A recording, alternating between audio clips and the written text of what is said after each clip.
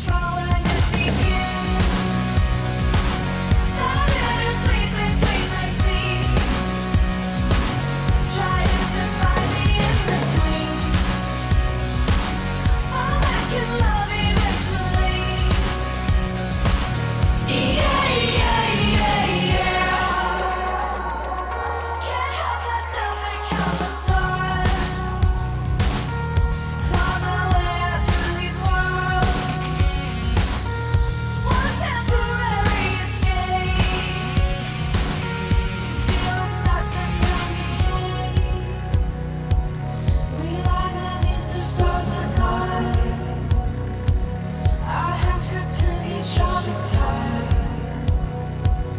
You keep my secrets up to die.